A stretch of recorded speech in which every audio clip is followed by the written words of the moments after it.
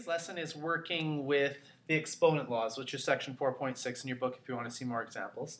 The learning intentions are going to be to review exponent laws learned in earlier grades. There's not really anything new to this lesson. It really is just putting together everything you know from previous grades and a little bit from the earlier sections in this chapter. So we need to review those exponent laws. Next, we need to be able to simplify expressions with the same base. So when you have a 3 squared times 3 to the power of x minus 2, they both have a base of 3, so it's a base, an exponent, base, and exponent. When the bases are the same, you can start to uh, simplify them. And last, we're going to simplify expressions with exponents. So here's an algebraic expression. We have 5 x squared y cubed divide 12 x y negative 4. There's some things they share in common here, so we can simplify it down using okay, What I've done to start here is we're going to review our exponent laws from grade 9. So I've put them all up, named them product of powers, and then showed an example in letters. And now what I'm going to do is I'm going to add an example in numbers to each. So a product, product means multiply. Quotient means divide. Power is an exponent.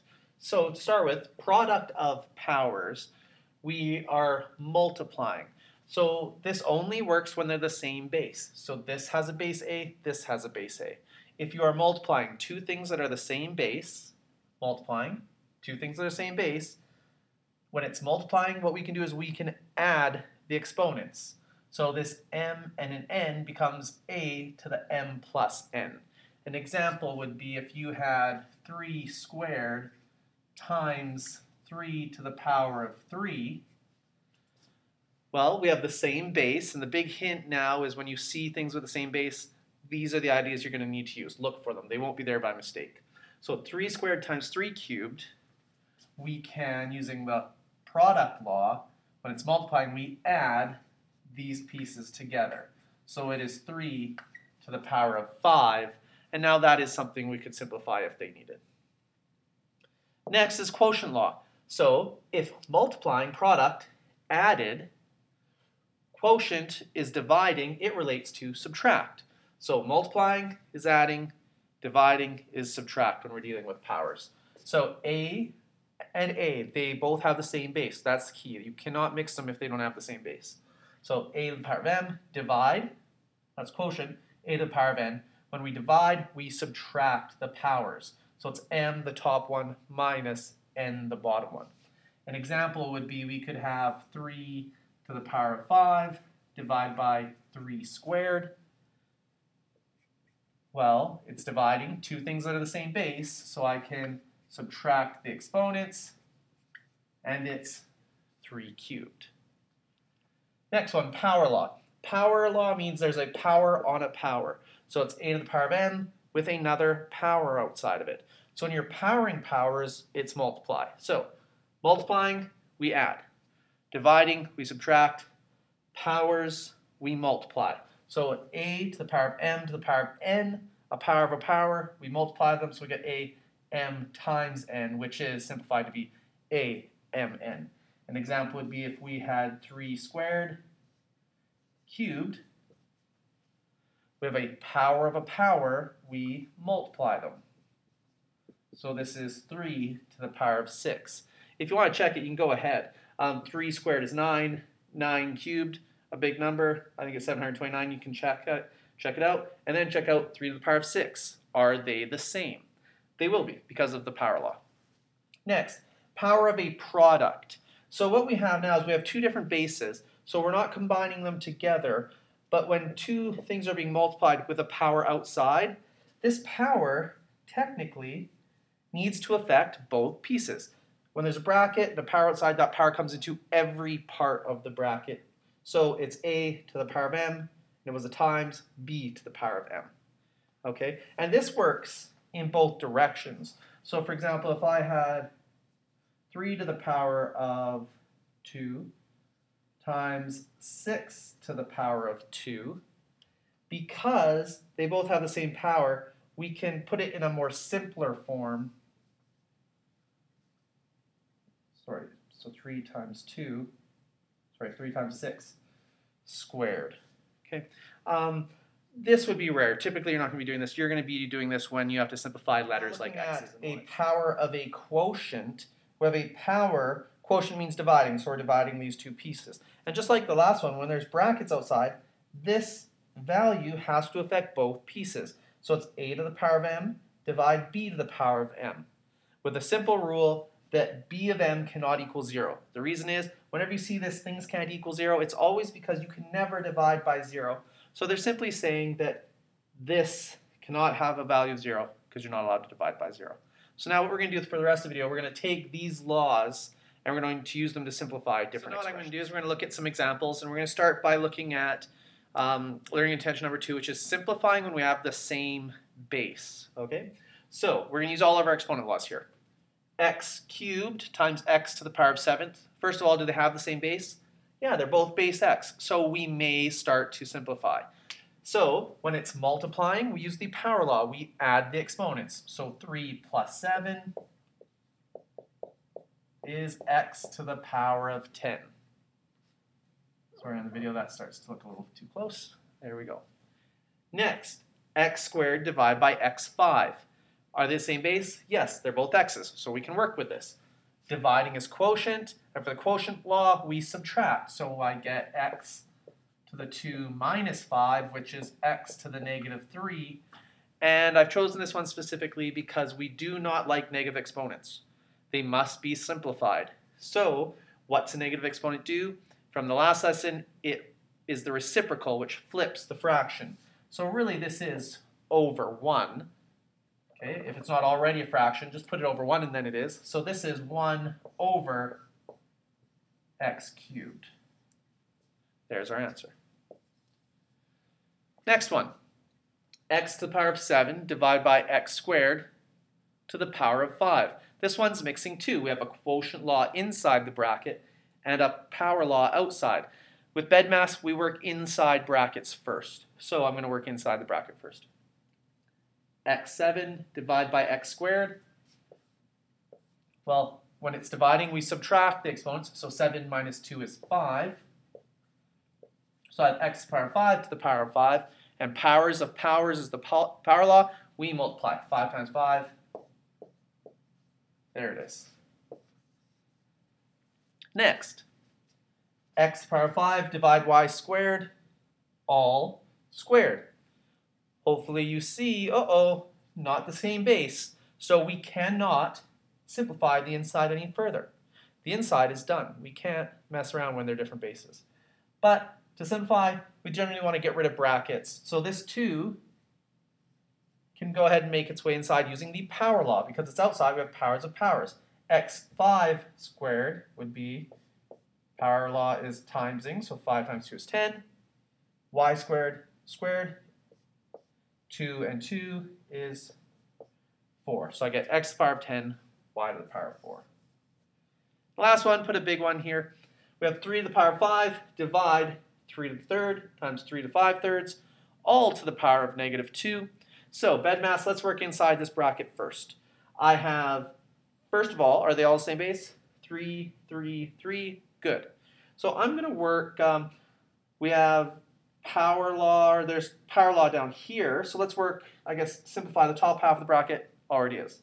Bottom half of the bracket, it's timesing, so I can add these pieces. So if I rewrite this, a third, and it's timesing, so we're going to add one third plus five thirds. Nicely enough, they already have a common denominator. When you add fractions, they must have a common denominator. 1 plus 5 is 6. 3 and 3 is 3.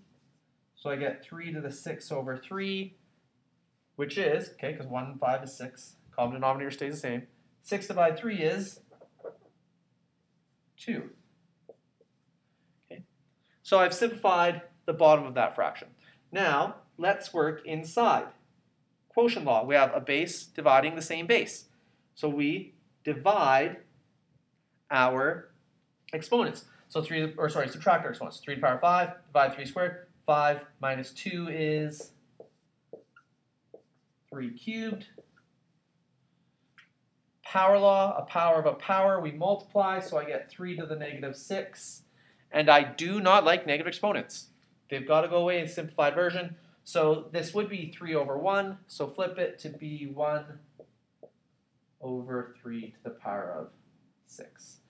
And 3 to the power of 6, you can go ahead and put that in your calculator. And um, maybe we'll do that actually. Let's see what 3 to the power of 6 is. Oh, gotta find my power button.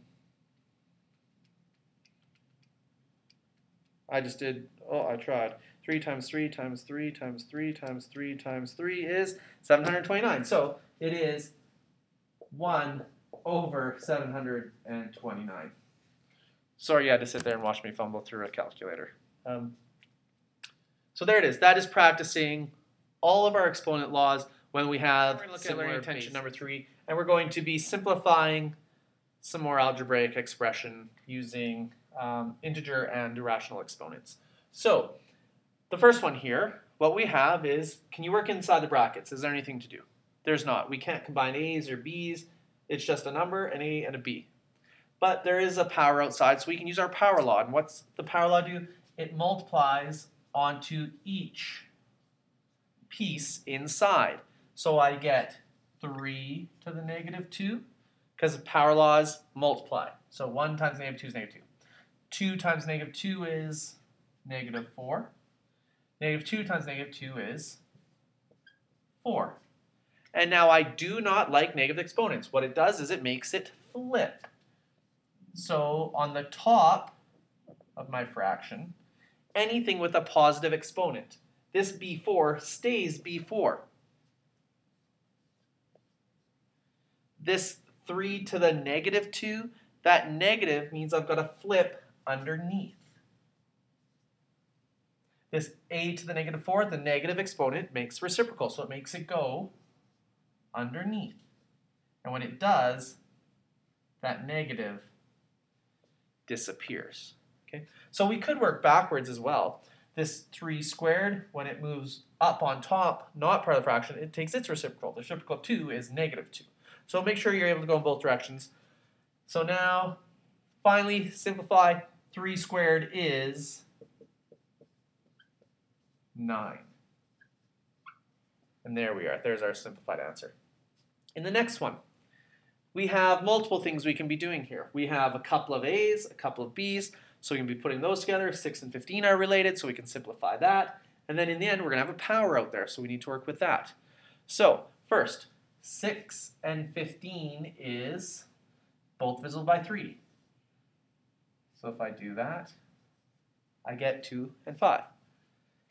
a cubed and a negative 2. So it's dividing. When we divide, we subtract.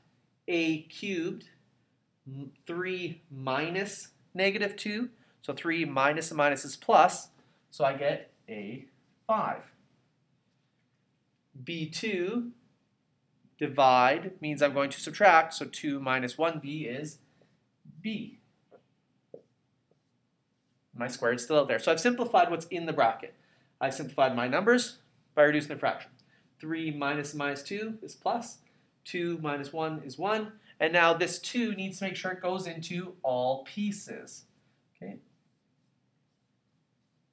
2 squared is 4. 5 and 2 is 10.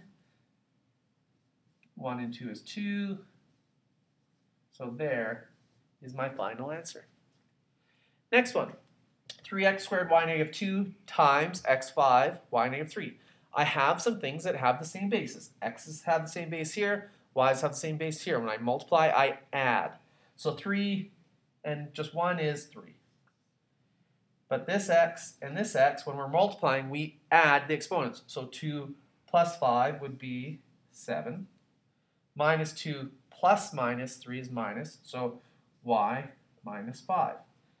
And we do not like our final answers to have negative exponents. And a negative exponent makes it take the reciprocal. So this y negative 5 can become y5, but it's got to take its reciprocal, so it's got to go underneath.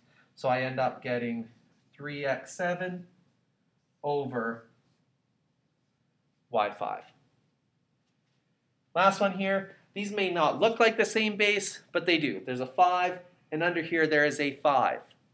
How can I get this 5 up? Well, take its reciprocal. The reciprocal of 5 to the 1 would be 5 to the negative 1.